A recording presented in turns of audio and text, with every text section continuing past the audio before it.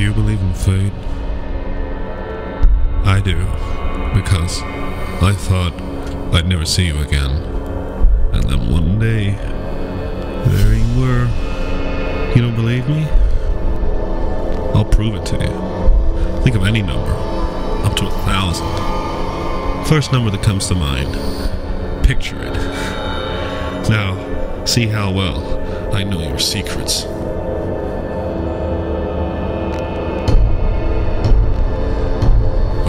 took, you will give, and you get what you gave.